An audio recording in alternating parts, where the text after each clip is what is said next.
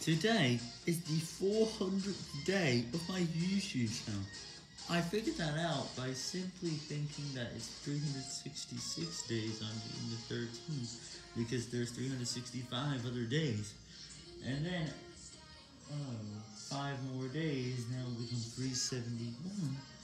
Not including the first day, that would be 370. And you guess what happens next?